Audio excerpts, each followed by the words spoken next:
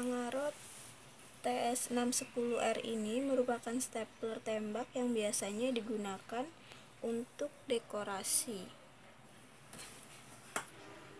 Untuk cara penggunaannya, kita bisa menggunakan isi strapless ukuran 13 per 6, 13 per 8, dan 13 per 10.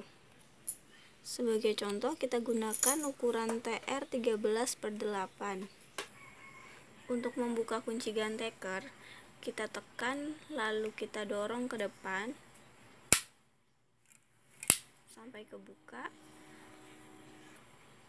Dan untuk cara memasukkan isi ganteker ini, kita tekan penjepitnya, kita tarik, kemudian kita masukkan isi ganteker.